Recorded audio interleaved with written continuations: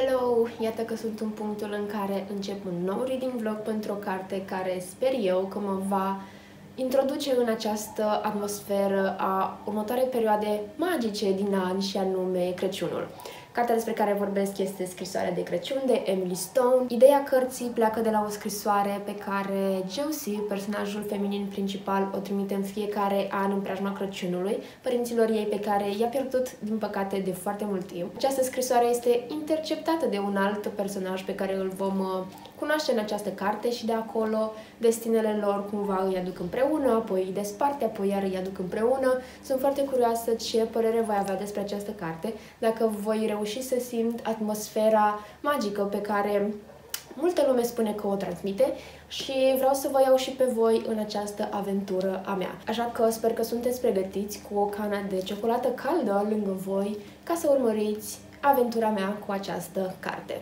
Am ajuns la pagina 47 din carte și trebuie să recunosc că totul merge foarte repede. Am intrat în acțiune încă de prin primele pagini. Am cunoscut ambele personaje și deja simt așa un suspans care se formează în jurul lor. Personajul uh, masculin principal uh, încă nu m-a cucerit în adevăratul sens al cuvântului. Este un mister în jurul lui și sunt uh, curioasă să aflu, să văd ce ascunde și cum va evolua întreaga legătură dintre cei doi protagoniști. Cât despre scrisoare, am uh, aflat cum a reușit să-i aducă pe cei doi împreună. A fost un moment destul de comic, tragic, dar în același timp și drăguț. Știm background-ul scrisorii, face referire la trecutul lui Josie, personajul feminin principal, și cu toate acestea, cu aceste detalii care au fost despre trecutul ei, simt că am nevoie de mai multe informații despre acest subiect ca să aflu exact uh, despre copilăria ei și cum a ajuns în punctul acesta. Este următoarea zi de când am început cartea și azi noapte am ajuns la pagina 121. Nu mă puteam opri din citit.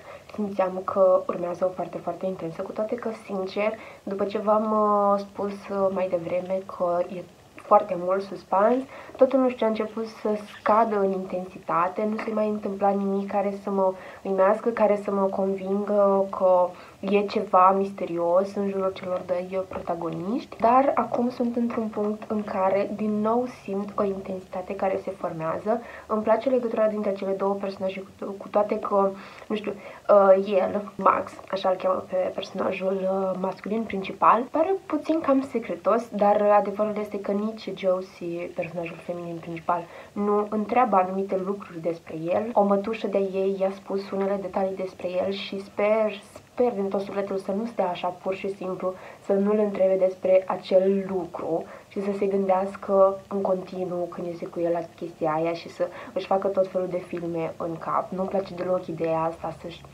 să cineva să spună ceva despre o persoană cu care tu te întâlnești și tu să nu întrebi dacă e adevărat sau nu. Deci urăsc chestia asta. Așa că astăzi o să continui să citesc și sunt uh, foarte curioasă să văd ce o să se întâmple din punctul acesta în care sunt, uh, pentru că cele două personaje sunt într-un uh, anturaj nu știu, destul de prielnic pentru ceva mai intens.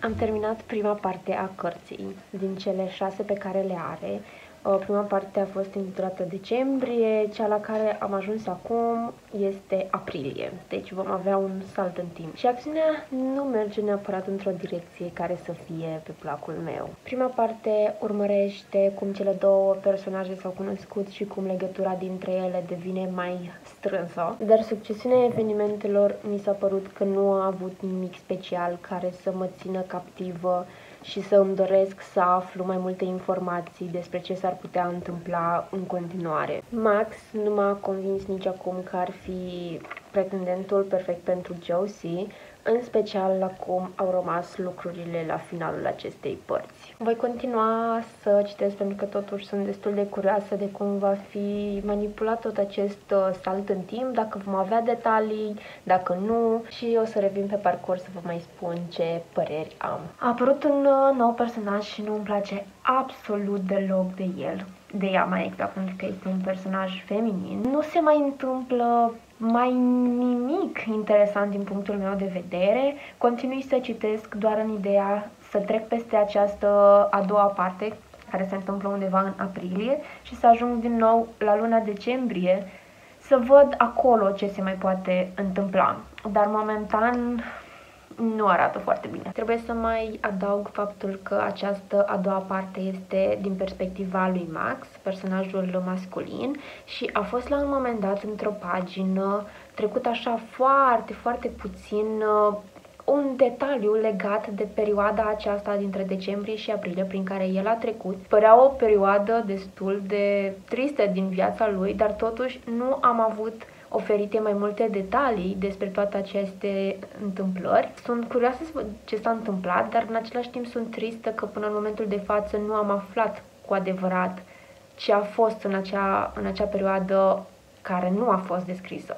Am ajuns la pagina 234 din carte, am terminat uh, partea a doua, cea cu aprilie, și am ajuns la partea a treia, care nu este decembrie așa cum uh, credeam, este septembrie și are loc în cadrul unui eveniment a unei prietene de lui Josie. La acțiune nu s-au schimbat prea multe, nu sunt multe întâmplări foarte intense, dar uh, acolo puțin puțin un suspans simt, pentru că au mai fost unele întâlniri dintre cele două personaje care mi-au dat așa o speranță că ceva o să se mai întâmple în nou curând și bineînțeles aici, uh, în, acest, în această parte, va fi din uh, o întâmplare care sper eu să iasă bine până la final. Sunt curioasă până la urmă să văd ce o să se întâmple. Nu, nu am de ce să mint, dar sunt curioasă, vreau să citesc în continuare, dar um, pe parcurs ce citesc nu, nu îmi transmite foarte multe sentimente, foarte multe emoții carte, dar, bineînțeles,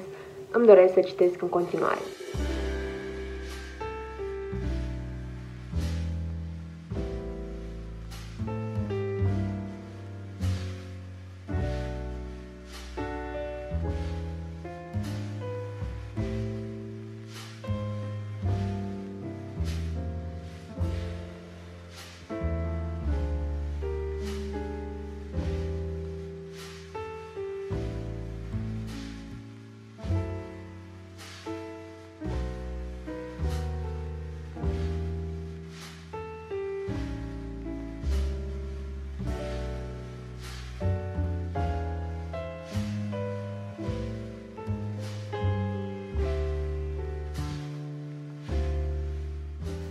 Sunt pe la pagina 280 din carte și trebuie să spun comunicarea dintre cele două personaje e aproape zero. Unul încearcă să vorbească, să explice ceva, celălalt începe să vorbească pe deasupra și în ritmul ăsta niciunul dintre ei nu ajunge să își exprime exact gândurile, să spună ce se întâmplă cu adevărat și fiecare trage câte o concluzie greșită. Am ajuns acum la pagina 350 din carte. A avut loc o întâmplare la care nu mă așteptam și de asemenea încep să bănuiesc anumite detalii despre unul dintre personaje și sper din tot sufletul să nu fie adevărat.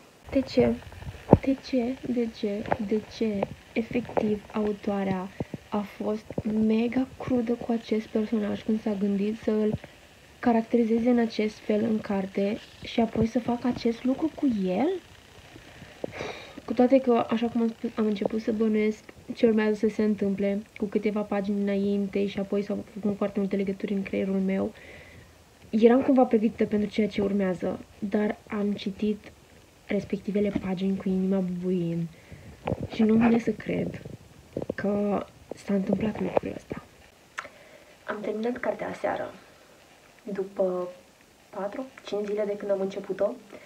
Am mers mult mai repede decât mă așteptam și wow, dacă ar fi fost întreaga carte scrisă în modul în care au fost ultimele 80 de pagini, cu foarte multe schimbări de situație, foarte multe momente șocante, cu o intensitate atât de puternică, ar fi fost efectiv o carte de un milion de stele, n-aș fi putut să, să-i dau doar 5 pentru că ar fi fost prea puțin. Ați văzut pe parcurs, v-am tot spus că nu mi se părea că se întâmplă mai nimic interesant, așa și a fost, dar cumva simțeam uh, nevoia de a continua să citesc, să aflu ce se întâmplă, să aflu cum evoluează toate aceste lucruri și cum ajung cele două personaje să aibă o legătură mai strânsă. Nu pot să spun că nu mi-a plăcut, pentru că este o lectură care a mers foarte repede și acest lucru a ajutat foarte mult. Și de asemenea este mai mult o lectură care se bazează pe sentimente, dar aceste sentimente mm,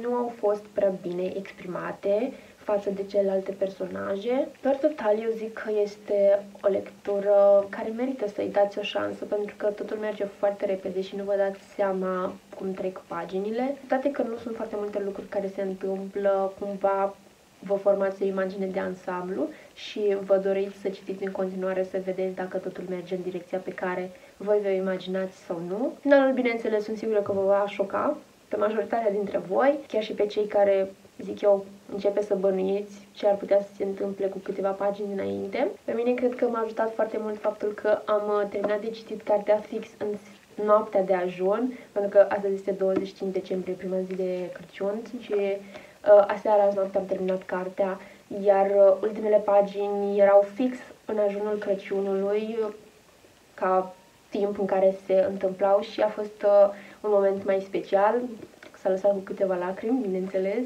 așa sunt eu. Eu chiar recomand cartea, cu toate că poate pe parcursul acestui vlog v-am dat această impresie, dar faptul că merge totul atât de repede a ajutat foarte mult. E mai mult ca o lecție de viață complexă pe care ajuns să o trăiești alături de personaje. Cam aceasta a fost experiența mea cu această lectură. Mă bucur super mult că a mers atât de repede și am terminat-o imediat ca să pot să fac și acest uh, vlog. Sper că v-am trezit așa o curiozitate legată de acest titlu și să vă achiziționați uh, și voi, poate să o citiți uh, la Crăciunul viitor. Iar eu sper să mai revin cu astfel de reading vloguri pentru alte lecturi care voi simți eu așa o dorință să încep să fac uh, reading vlog pentru ele. Eu vreau să vă urez sărbători minunate alături de cei dragi și până data viitoare vă urez spor la citit, spor în tot ceea ce faceți și ne vedem curând. V-am pupat, pa, pa!